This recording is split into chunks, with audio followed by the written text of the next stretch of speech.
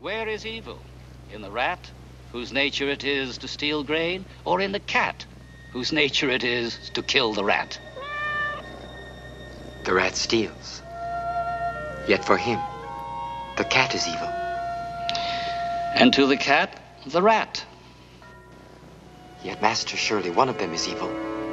The rat does not steal. The cat does not murder. Rain falls. The stream flows.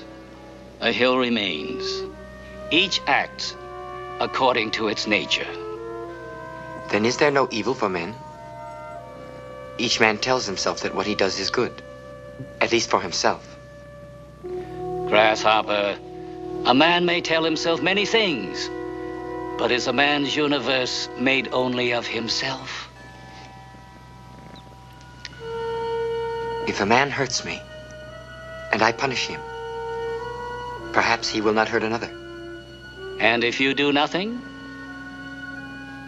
He will believe he may do as he wishes. Perhaps. Or perhaps he will learn that some men receive injury but return kindness.